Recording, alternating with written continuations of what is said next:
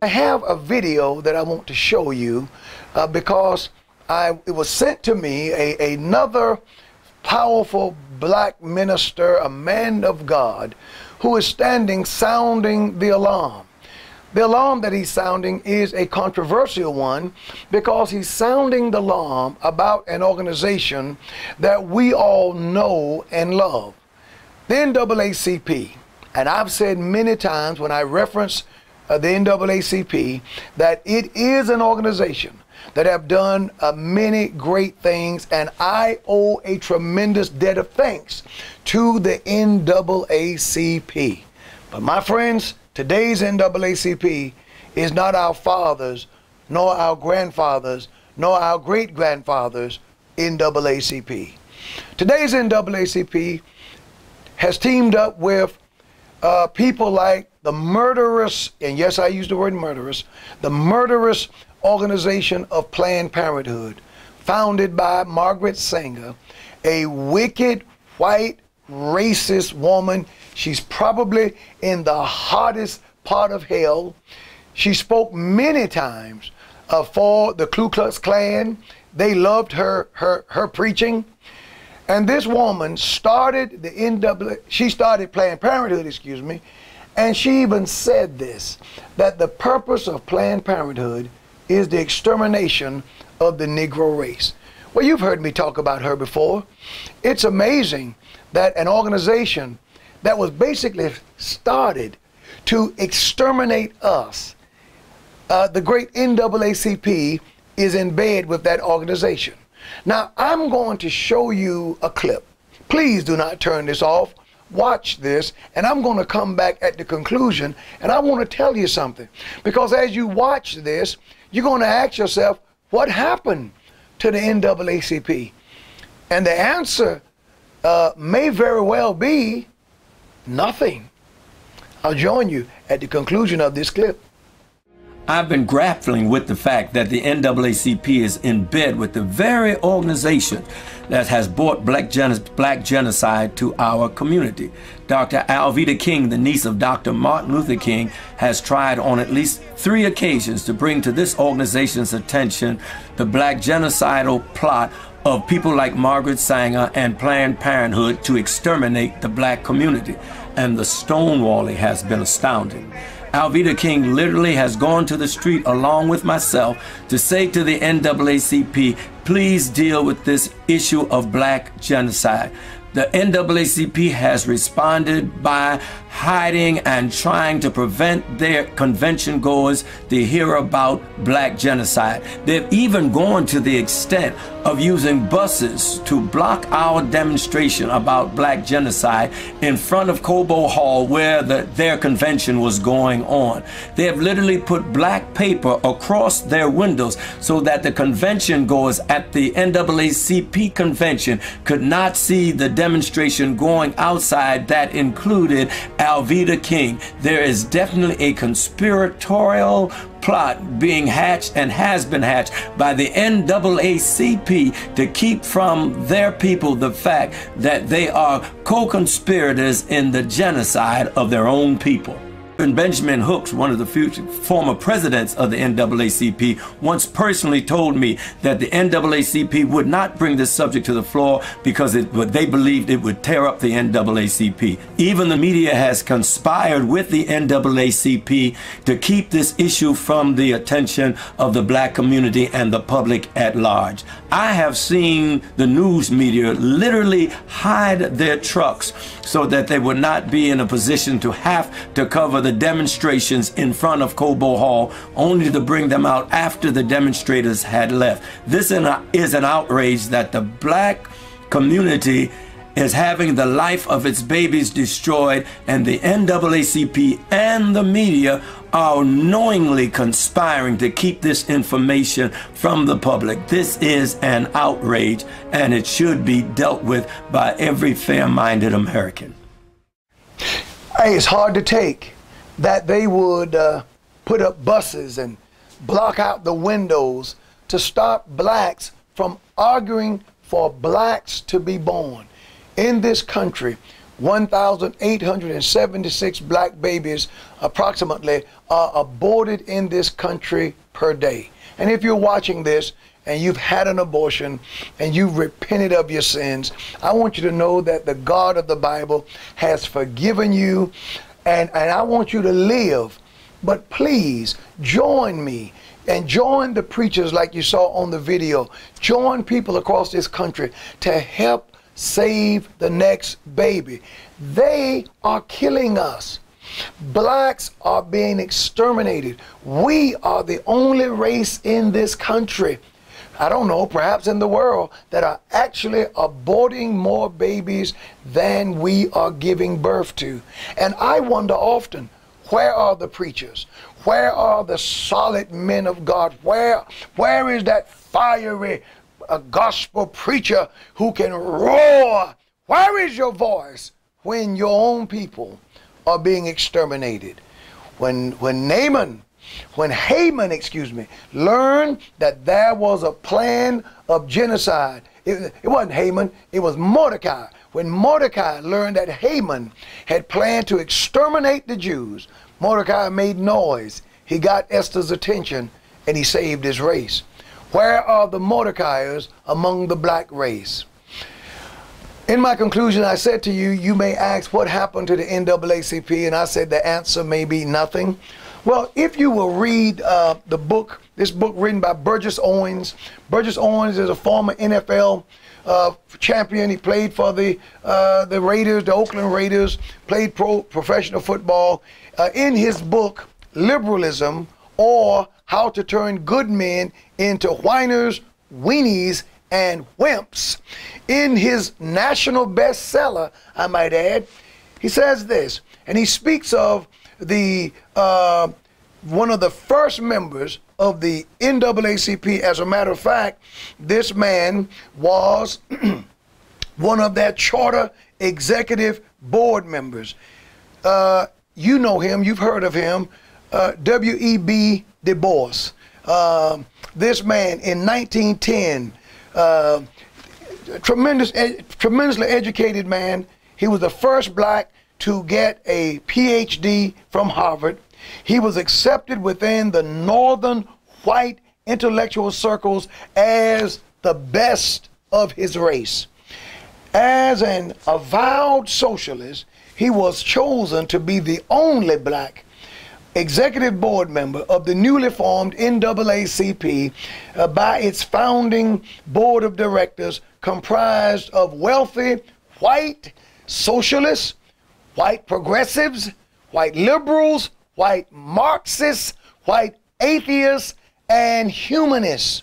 For the next 24 years, he would be the face and the voice of the NAACP, salaried uh, to author its outreach magazine, The Crisis. He would serve also on the board with renowned eugenicist and KKK sympathizer Margaret Sanger founder of Planned Parenthood. She introduced to the poor urban black community a new birth control concept called abortion. Listen to me, my friends. This woman, this woman, she in her writings, she left no doubt about her contempt for the black race, which I am such a proud part of. I'm so glad to be a black man. I don't know life any other way. And if the Lord came today and said, uh, Patrick, I'll make you over and make you anything you want me to be, you know what I would tell God? I'd tell God, Lord, you got it right the first time. But Margaret, let me get back to her. In her own words, she called blacks human weed reckless breeders, spawning, calls of spawning human beings who never should have been born. How could W.E.B. Du Bois, how could Planned uh, Parenthood, how is it possible that a black organization could have anything, anything whatsoever to do with a person or their organization that has this contempt for our great race. NAACP and its black voice and face, W.E.B. Du Bois, worked tirelessly to discredit the charter, the character, reputation, and fundraising eff efforts of one of its competing voices, capitalist, Christian, and Tuskegee Institute founder, Booker T. Washington. Due to his message of industry, morality, and self sufficiency, the black community had experienced a tremendous success and had garnered a high degree of respect throughout the North and the South. Eventually, though, due to the untimely death of Washington in 1915, the seeds of socialism championed by the NAACP would overshadow his message of free enterprise and self empowerment. What happened to the NAACP, my friends? If Burgess Owens is correct, if this historical data is true, if it is, then the answer is nothing. That there has always been a group of people who believed in a royal class of blacks called the talented tenth.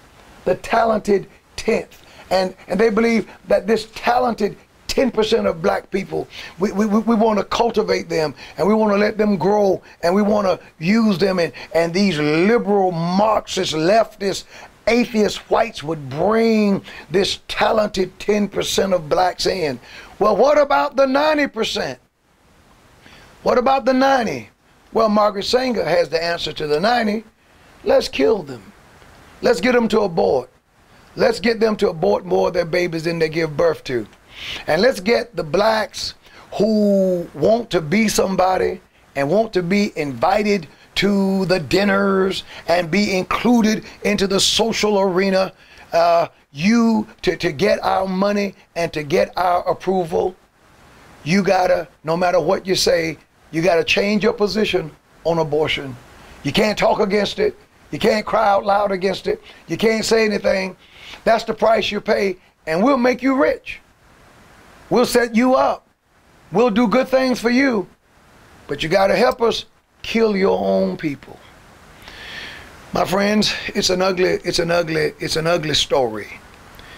But it appears to be a true one. I say to all African Americans of goodwill who's watching this, regardless to your uh, political uh, affiliation, this is not a Democrat issue. It's not a Republican issue. And don't let nobody demagogue it. And, and, and it is true. It is true that the NAACP has historically done a many of good things. And I applaud that. But you can't just rest on that. You know who else did good things? You know who else walked up and down in the in the mountain of God? Do you know who directed the choir in heaven? Do you know who was so beautiful that when he came into the presence of God the Father, you know, God the Father is light. And when this person came into his presence, all of the beautiful gems and stones and diamonds and precious stones were a part of his covering. So when he came into the presence of God Almighty, he would light up glory with a kaleidoscope of colors, and it was beautiful and it was amazing and he was anointed. He was called the anointed uh, cherub that covereth. Oh, he did great things. He was awesome. His name means star of the morning. His name was Lucifer. His name is Lucifer. He's called Satan and he's called the devil. I'm not calling the NAACP Satan, nor am I calling them the devil. But I will say this you cannot rest on your laurels. You can't say, or we can't say, because they did great things yesterday, that we shouldn't even check them or challenge them today when they're doing wicked things, championing the cause of people who are who are identified by their lifestyle, by who they have sex with, And it's deviant sex at that. One of the biggest clients today for the NAACP is the LGBTQ community.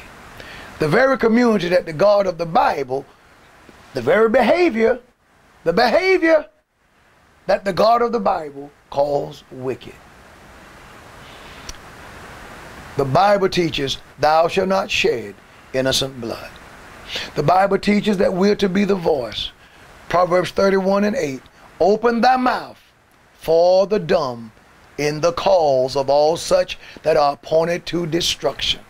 Jesus speaks of the least of these.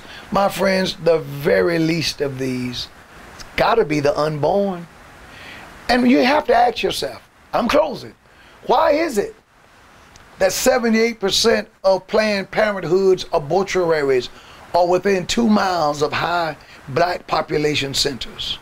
You got to ask yourself, why is it that the black race can never become any more than 11 to 12, maybe 13% of the population. I've been hearing that all my life. Why is it that the Hispanic population is 17% and growing and other groups grow, but blacks don't grow? Now, it can't be because we're not having sex. Now, you know that. We sing about sex, we dance, we dance, we dance with sex, we groove with sex, we rap about sex, we, we croon about sex. Come on, come on, come on. One of our big hits back in the 70s, Billy Paul, come on, let's make a baby. I mean, we the OJ sang about baby making love. We talk about it. So sex, man, I mean, we got love won't let me wait. Oh, let's get it on. Come on, man. We can just talk about this stuff. So we have sex and we are fertile. But why can't we grow? And everybody knows politically, when your numbers are small, your strength is small.